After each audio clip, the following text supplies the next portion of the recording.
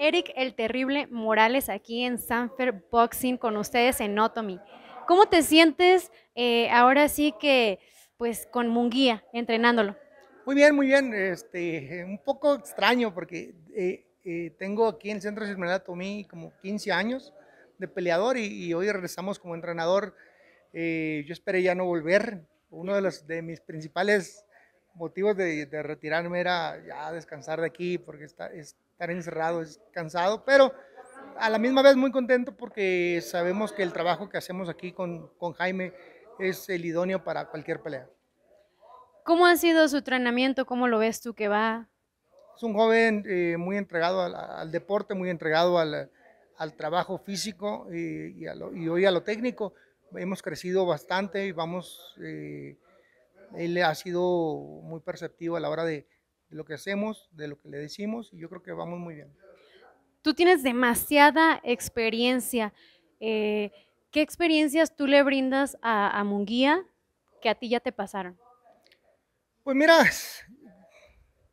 eh, o cuéntanos alguna que, que, tú digas, esta es la que yo le, le digo a él.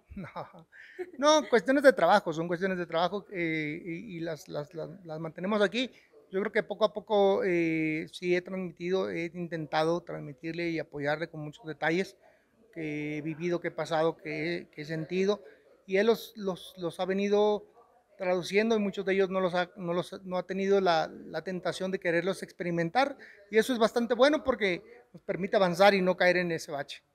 Así es. ¿Cómo divides tu tiempo este, como entrenador y como político? Sabemos que en Tijuana eres su ídolo y te quieren demasiado. Gracias, gracias. Pues ahorita dejamos la política un ladito, a un ladito, hicimos un ladito y ahorita estamos trabajando concentrados en el, tema de Jaime.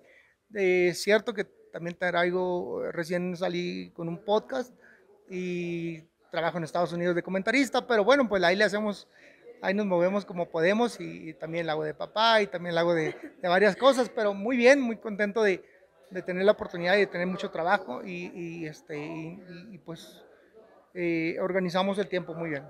Ahora sí que sí, de hecho yo vi un poquito de, del podcast y la verdad que felicidades, me encanta mucho el programa y no sé, yo creo que estar aquí, como dices tú, es un poco difícil, más que nada por dejar tu familia y venir a, entrenar con ellos. Aparte de Munguía, ¿quiénes más entrenas?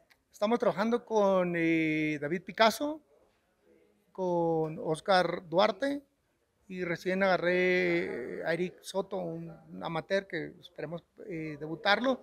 Y ahí vamos poco a poquito y volviendo un poquito para atrás, el, no se lo pierdan, es un round más en todas las redes sociales, pero sobre todo en, YouTube y en Spotify. Ya lo dijo, amigo, síganlo.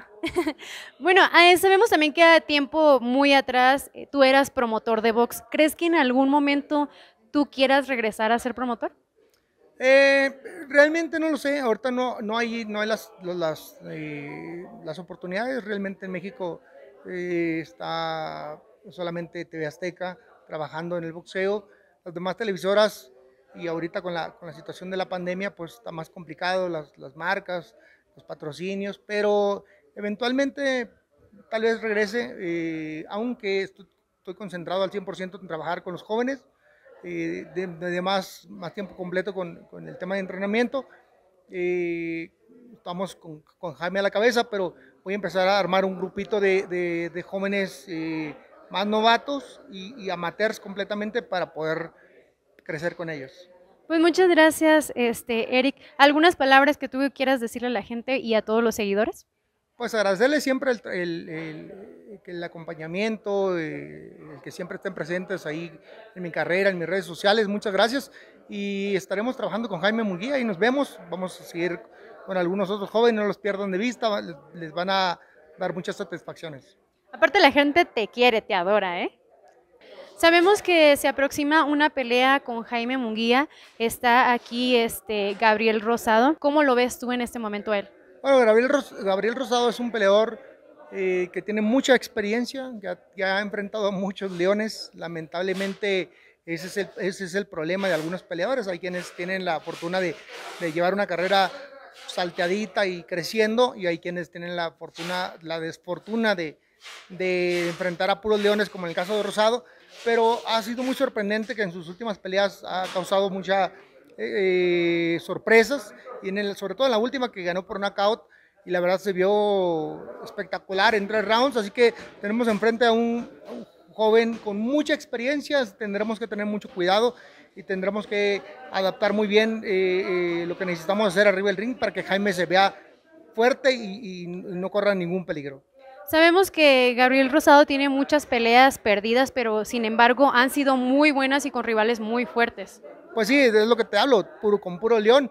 Él ha aprendido, ahora sí que con el respeto de todos, a base de chingadazos. Y, la verdad es que es un peleador que tiene hambre, que tiene ganas y que en sus últimas peleas se ha visto eh, con mucho espíritu, con mucho, con mucho entusiasmo, así que tenemos que tener mucho cuidado. Así que vienen bien preparados, ¿verdad? Para la pelea, Jaime Munguía. Tenemos que llegar al siguiente. Bueno amigos, esto ha sido todo por esta entrevista. Muchas gracias por esa entrevista terrible de verdad, de corazón. Y esto es Sanfer Boxing.